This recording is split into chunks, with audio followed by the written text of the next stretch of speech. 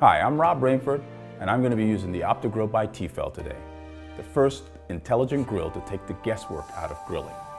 Today we're going to be using a little bit of fish. Now, all fish are not created equal. Some are light and flaky, some are dense. Really important that you know what kind of fish that you're using. This intelligent grill basically has six settings. Let's just give it a quick turn on, select fish, okay. As soon as this baby beeps at me, then I know I'm ready to start cooking. But before I do that, let's get a little marinade for this. I've got some salt, a little olive oil, some pureed garlic, and a little vinegar.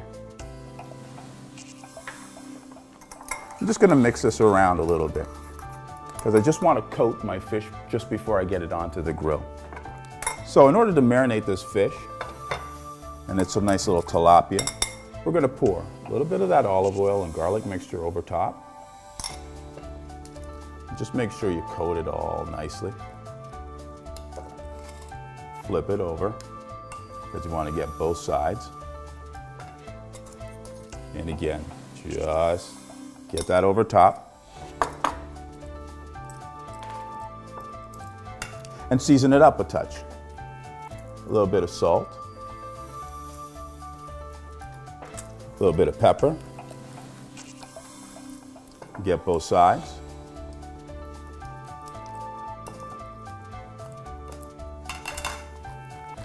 Again, a little bit of pepper, a little bit of salt.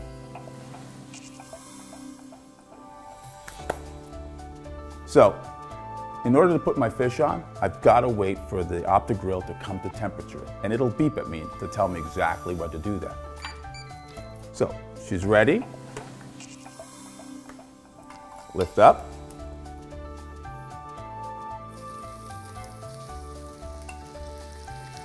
Put this on.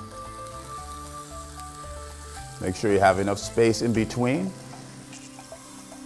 Close the grill and when this beeps, it will have this fish cooked to perfection. So while the tilapia is cooking, we're just gonna get a few more ingredients in just for the topping. I've got some diced tomatoes. I've got some olives, which I'll just roughly chop a little bit more.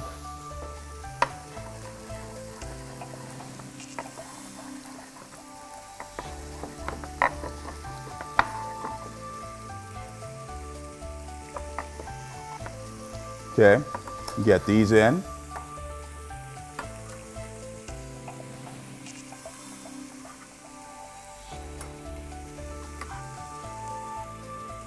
A little parsley. More of that olive oil. A little lemon juice. A little zest.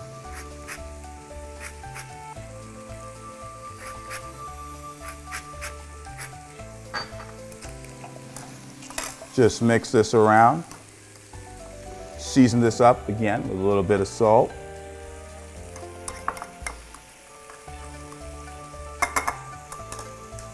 A little pepper.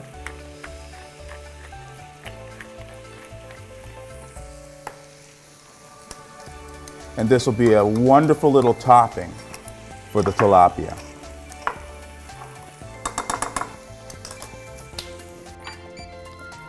You can find these recipes in the OptiGrill cookbook.